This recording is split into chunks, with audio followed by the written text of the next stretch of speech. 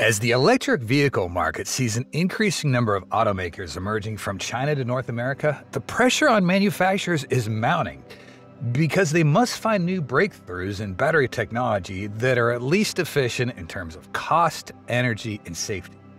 In this race, the one with a better battery wins.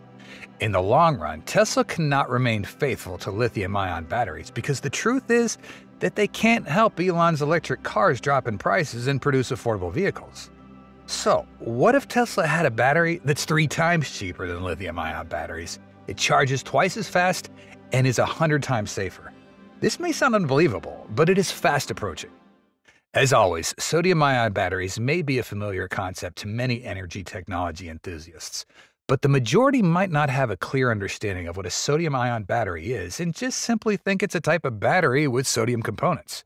Yes, this isn't wrong, but we believe the concept of a sodium ion battery is much more interesting than that. Simply put, a sodium ion battery is basically composed of a cathode made from a material capable of holding sodium, an anode typically made from hard carbon, alloy, metal oxide, and a liquid electrolyte containing sodium atoms in ion form. The electrolyte is the liquid that lies between the cathode and anode, filling the internal volume of the cell and acting as a link between the cathode and anode, allowing sodium ions to move. Changing from using more lithium to more sodium will only change the energy density, charging time, safety properties, general performance specs, but not change the operating principle.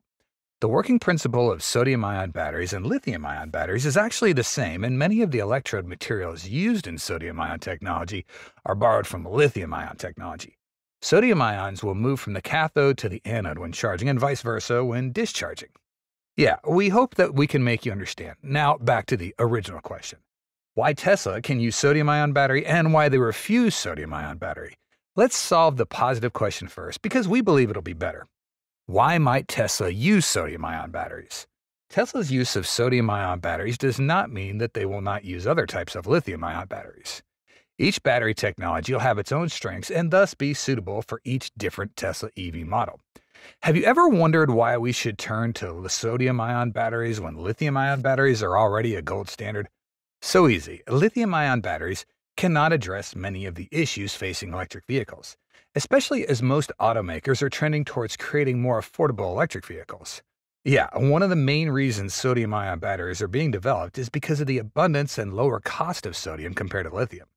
This is especially important as demand for standard lithium for batteries continues to grow and is expected that by 2025, there's going to be a shortage of the lithium needed to produce those lithium ion batteries. Sodium ion batteries, in particular, have an advantage for all automakers, especially Tesla and the $25,000 electric car that Elon's always talking about, with lower costs because adding a different battery chemistry that doesn't require lithium into the mix has huge benefits, especially in the future when lithium demand increases 500 times more than it does now. According to Energy Post, the cost of sodium ion batteries could drop to as low as $40 per kilowatt hour in the future, which is nearly the lowest price point for any battery technology. Tesla's biggest partner, CATL, currently produces sodium ion cells that cost around $77 per kilowatt hour, but CATL promises that prices could drop below $40 a kilowatt hour in the future as the world's leading battery maker has made a major breakthrough in manufacturing. It's easy to see the potential for sodium ion batteries in terms of price, or as even the cheapest LFP cells on the market currently cost $139 a kilowatt hour. Although lithium exists naturally in various types of rock and some types of saltwater, the amount of lithium in the Earth's crust is not limitless. Moreover, extracting lithium requires energy. The high demand for this raw material, coupled with limited natural supply, has driven its price up, earning the nickname white gold. On the contrary, sodium makes up about 2.6% of the Earth's crust, making it abundant in nature and much easier to extract compared to lithium. Furthermore, besides sodium, the materials used for the cathode in sodium ion batteries primarily contain iron and manganese instead of nickel or cobalt found in lithium ion batteries. Both iron and manganese are plentiful globally and are not listed as endangered elements. What is the charging time of sodium ion batteries? For those disappointed with long charging times, electric vehicles remain a concern, especially on journeys exceeding 400 miles. In Tesla EVs, the fastest charging time is around a half hour, 20 to 80% for Model 3 via the LFP package.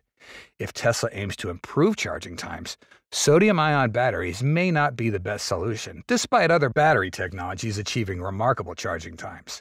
Compared to current standards, however, sodium ion batteries are certainly much more efficient than lithium cells. Specifically, sodium ion batteries have the potential to charge faster than lithium ion batteries, as CATL claims that their batteries can be charged to 80% in about 15 to 20 minutes, better than Tesla's electric vehicles, which typically take around 30 minutes to do the same thing. Even more amazing is that a new battery development and battery technology is giving us a crazy glimpse of those insane charging speeds that sodium ion batteries can achieve.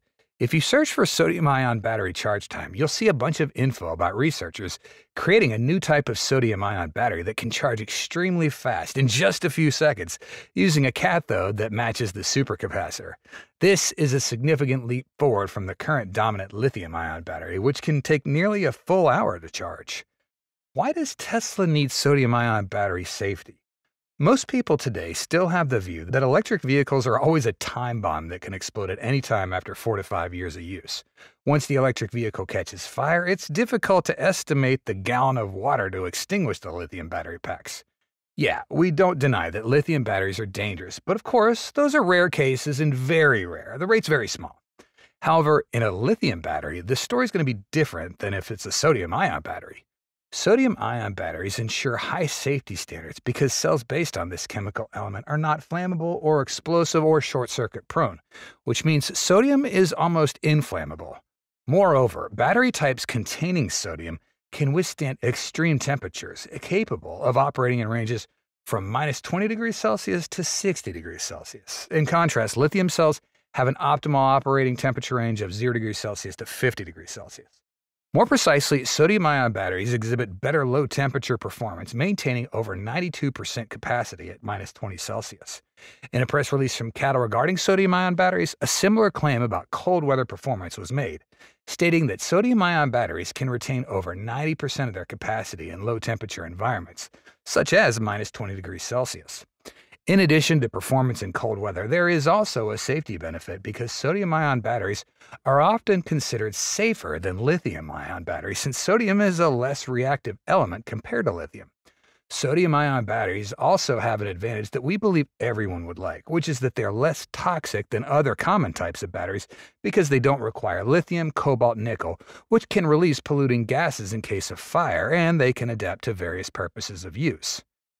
Finally, electric cars running on sodium could appeal to urban and suburban drivers on tight budgets, those who don't necessarily need a car for long distance driving.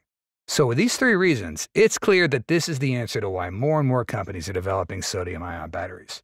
With their three significant advantages, it could certainly persuade Elon to bring them to Tesla and integrate them into future affordable and compact electric vehicle models. However, there may still be one or even two barriers for Elon to overlook this battery technology. So, Having said that, why might Tesla reject sodium ion batteries? Despite its high efficiency, sodium batteries are relatively new in the commercial market.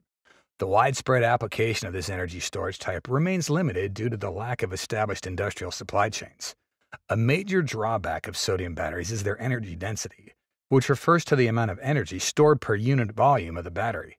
Sodium batteries still have a relatively low energy density, ranging from 140 watt-hours a kg to 160 watt-hours a kilogram, compared to 180 watt-hours a kilogram to 250 watt-hours a kg for lithium-ion batteries.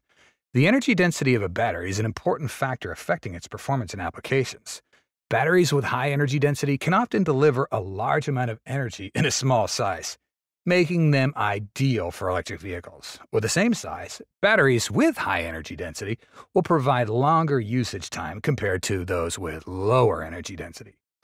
In addition, high energy density batteries are often lighter, helping to reduce the overall weight of devices. On the other hand, batteries with low energy density typically have bigger or larger dimensions to provide the same amount of energy, resulting in shorter usage times. Achieving the same energy capacity, low energy density batteries are usually heavier. This is a challenge that sodium ion batteries are currently facing, and it's a primary reason for their slower development compared to the rapid advancements we see with lithium ion batteries. However, there is still much hope as CATL is expected to soon introduce its sodium ion battery Gen 2. CATL's announced a target of 200 watt hours per kg for the next generation version currently under development compared to the current generation, which only achieves 160 watt hours a kilogram. Moreover, as we discussed previously about sodium ion battery technology, a former Tesla engineer has founded his own company that's dedicated to advancing this type of battery.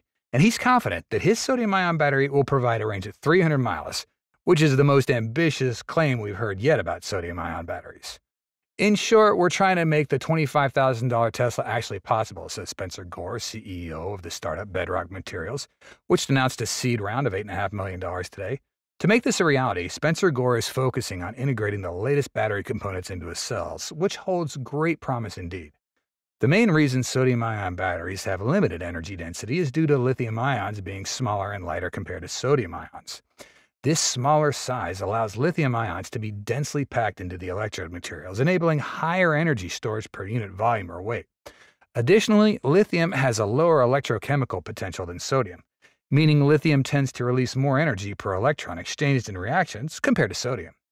What is the life cycle of a sodium ion battery? Another significant barrier to practical use of sodium ion batteries is their short lifespan. This rapid degradation is primarily used to sodium ions being larger, approximately three times larger than lithium ions.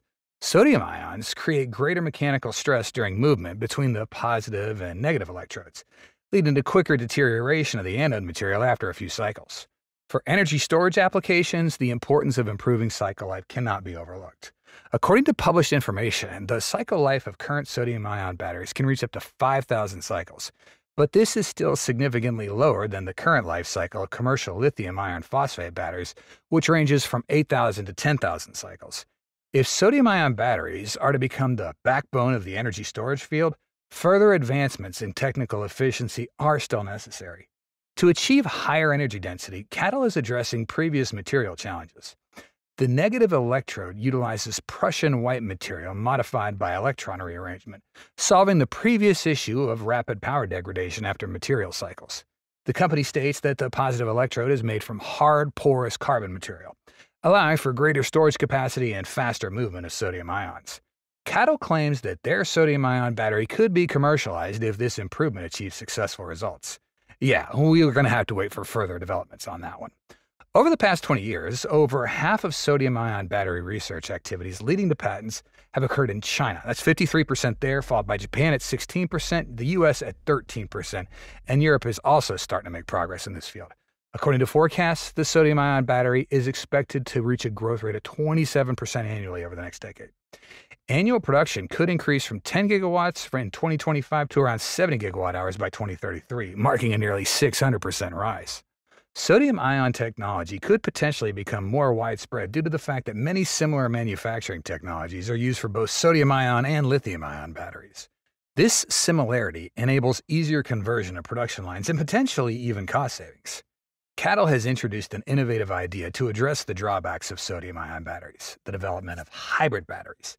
This involves mixing and combining sodium ion and lithium batteries in certain proportions, integrating them into a single battery system using smart battery management systems BMS to control these different battery systems. Depending on the requirements, vehicles could leverage the efficiency at low temperatures of sodium ion batteries or the high energy density of lithium ion batteries. The project is still in the testing phase, but the entire industry is closely watching this initiative from the Chinese company. Despite these ongoing challenges, interest in sodium ion batteries is steadily growing in the electrified world. Major international companies in the battery manufacturing sector are shifting their focus towards this technology. CATL highlighted sodium ion chemistry as a target in 2021, presenting it as a new frontier for their investments to differentiate their products. The Chinese giant is pursuing this strategy based on a deep understanding that capturing a portion of the current lithium ion dominated market with sodium ion batteries could significantly reduce lithium battery prices. Currently, sodium ion batteries are primarily used in small scale applications manufactured in China, and we do not expect them to appear in Tesla's EVs in the next few years. While this possibility may eventually materialize, we don't believe it'll happen until CATL successfully commercializes their sodium ion battery Gen 2, which would need the energy density required for Tesla to consider adoption. However, the electric vehicle industry isn't solely comprised of Tesla, as many other automakers are grappling with battery technology advancements. Sodium ion batteries could prove to be an efficient option for them. Additionally, sodium ion batteries may find broader use in the future in stationary energy storage environments. As Tesla looks to make its electric vehicles more affordable and lower their prices, the sodium ion battery could be a good choice as it offers the three pillars of cost, charging time, and safety.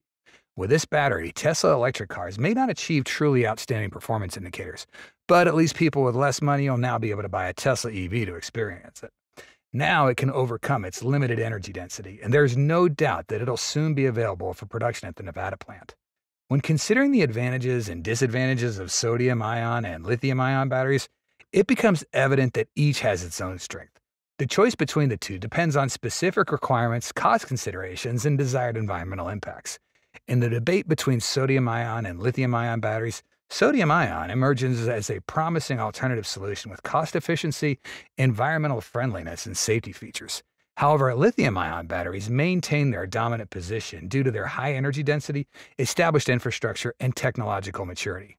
In summary, the competition between sodium ion and lithium ion batteries reflects a positive shift towards sustainable and efficient energy storage solutions. The dynamic landscape of battery technology continues to evolve, and the coexistence of two technologies provides a diverse approach to meeting the diverse energy needs of our world. Finally, what do you expect from sodium ion batteries, and what do you think if Tesla will have EVs running on them? We appreciate your valuable contributions. We hope you'll have the most relaxing feelings after watching this video. If you did, please hit the like button and join the Tesla Car World family by subscribing to our channel. And don't miss out on any of our awesome videos by hitting the bell icon. We value your feedback and your time. Thanks so much for watching, and we'll see you soon. Until then, stay safe and have fun.